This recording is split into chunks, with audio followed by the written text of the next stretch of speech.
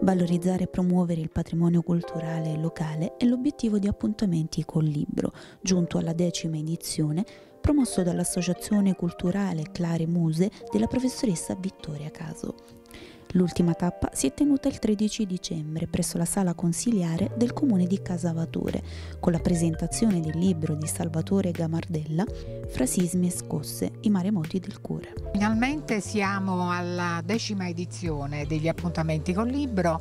e questa volta eh, i primi appuntamenti che si sono svolti qui nella sala consiliare del comune di Casavatore hanno avuto come protagonisti due giovani di Casamature. Il 25 ottobre c'è stato Carlo De Felice Vespasiano,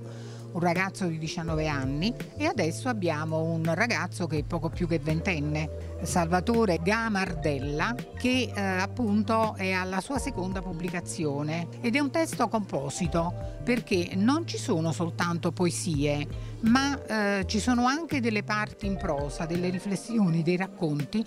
che sono veramente molto interessanti per, per, un giovane che dimostra una bella maturità. Dopo i saluti del sindaco Luigi Maglione e dell'assessore alla cultura Elsa Picaro del comune di Casavatore, l'evento coordinato da Daniele Capozzo ha visto l'alternarsi degli interventi dei poeti Nenzi Amato, Silvana Pesola, Gennaro Iannuzzi, Carlo De Felice Vespasiano l'esposizione di un abito a cura dell'Accademia di Moda Bassolino ed esibizione canore di Relativo, nome d'arte di Salvatore Gamardella.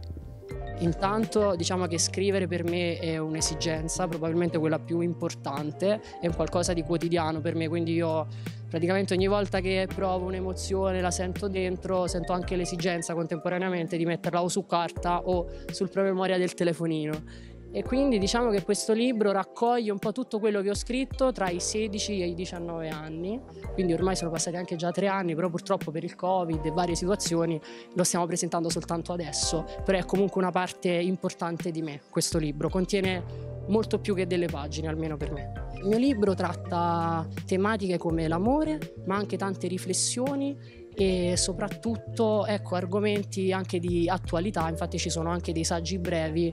in cui ad esempio i ragazzi potrebbero anche eh, rivedersi o che potrebbero trovare, all'interno dei quali potrebbero trovare degli spunti anche per i saggi scolastici, ad esempio per la maturità.